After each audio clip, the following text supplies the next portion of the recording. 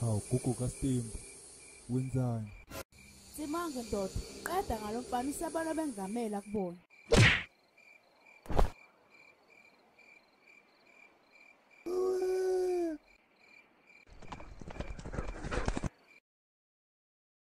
Ye ye wena sidawa ungisiza nje ungisukele phambi kwelati lami. Hawu uzivusa silele nje umsindo wakho. Kade bethakatha la ekhaya. Ngiyabakuza imfene yavetane yangirepa.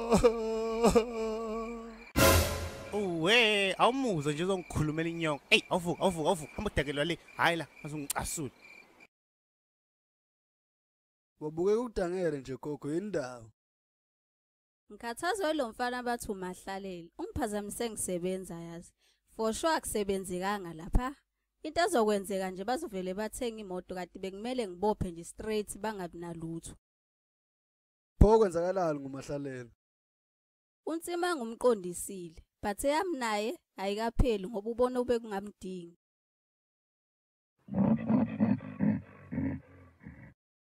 Hayi gogo ungayenzi lonto le. Athi ngakukhuza ngokusebenza abantu engibajwayele. Sezongibuka kanjani nje manje umahlalelo? Hayi. Lo mfana uzohamba etshena lonke izwi ukuthi ngenzani. Kanti bekumele ngimvale. Gogo ehlisa umoya umahlalelo uhlamba akekho umuntu ozomkholwa vele unamanga. Ngizobona ngenza njani mzukulu. hayi mahlalelo unamanga Ngiqinisile bafethu. Ningambona emini ekhokhoba futhi enyonyoba kanti ha ebusuku yininja. Ugxuma futhi ugijima njengalo. Uvele waphelela esikhaleni ngangamboni. Lapho ngithe ngiqhamuka wathuma imfene ngayikhahlela ngayifaka namaqupha yakhala engathi umgoduyi. Hawu hawu hawu. Lapho kumnikazi wayo wavedana wayigibela babalekani.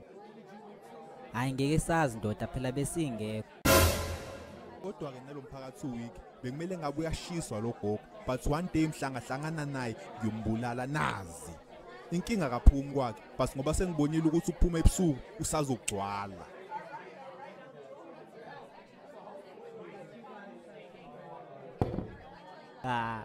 Iyaw gasog po pa